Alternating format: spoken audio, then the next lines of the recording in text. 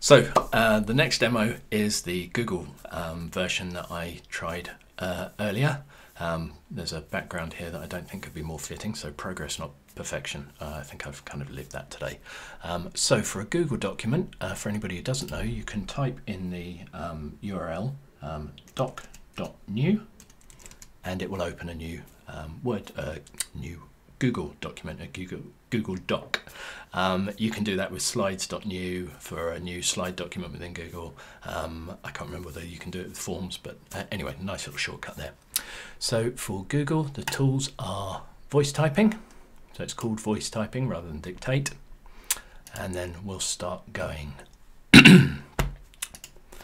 and it does a reasonable job of transcribing what I'm saying. Um, it used to be that I felt that Google was a little more accurate, um, and certainly it seemed to uh, understand me a lot better.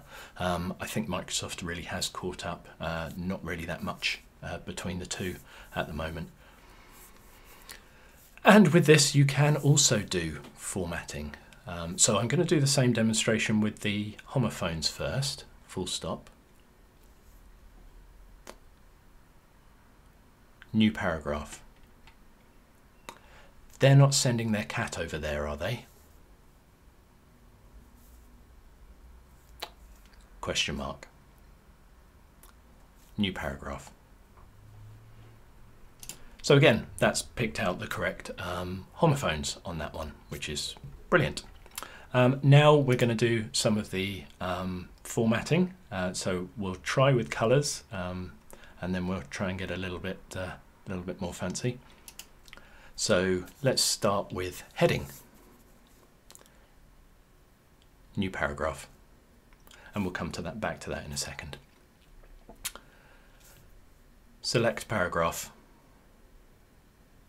Text color red. Highlight yellow. Align center.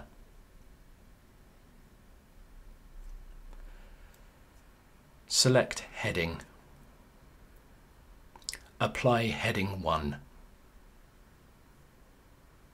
And because I'd selected the line underneath, and it's going to type over this as I'm talking, but because I've selected everything there, um, in fact, let's switch it off now because I've um, selected everything there, it's changed everything into a heading. But you can hopefully see um, that that did do as it was told and made that um, first line or heading as I'd wanted to select into uh, heading level one. So for anybody uh, looking at accessible documents, you can actually put your, your headings in and make these documents easily navigable.